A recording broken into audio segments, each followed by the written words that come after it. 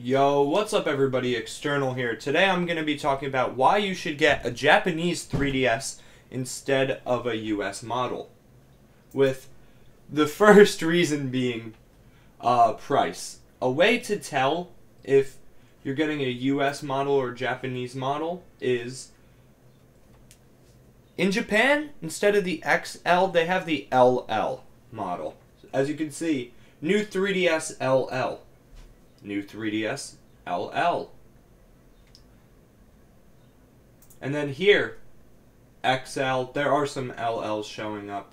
On this one, it's all just the Japanese model, but let's look at the prices. 303 46 new, 30 no wait, 343 33 new, 260 95 new,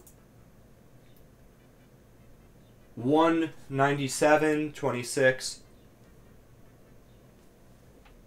the Xerneas one, even the Mario Maker bundle.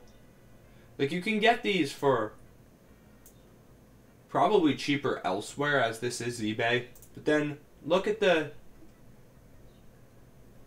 1450 329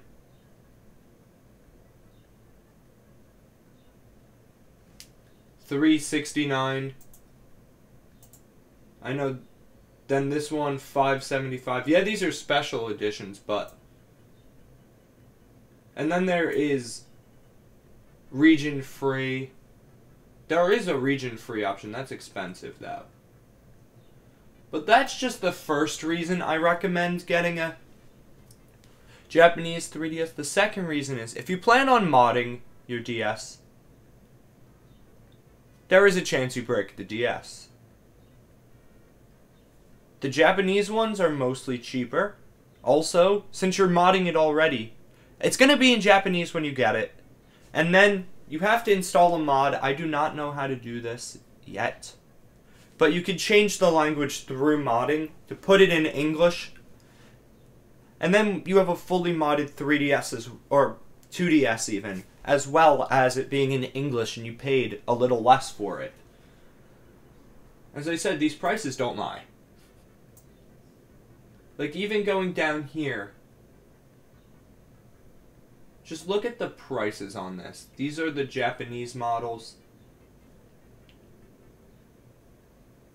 See, that's $62. Two bids and four days left. There's $25 shipping. There's the Charizard one, console only.